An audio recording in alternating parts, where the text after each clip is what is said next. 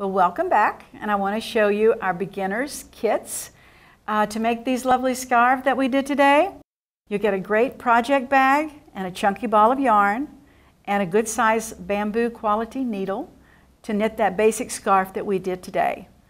And if you go to my website, you're going to find, not besides the basic, you're going to find the deluxe beginner's kit, which is this luxurious chunky yarn that's variegated and in this project bag, which will be calling to you because the yarn is so pretty, you're going to have the free pattern on how to make all these cute loops, which is a surprise at the end.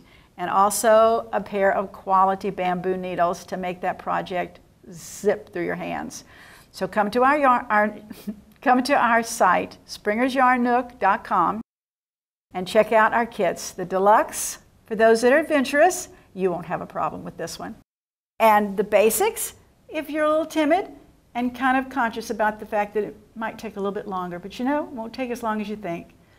And don't forget to click on that subscribe button now, so when I come out with my next videos for the next step and the next projects, you don't want to miss those. They're going to be great. See ya.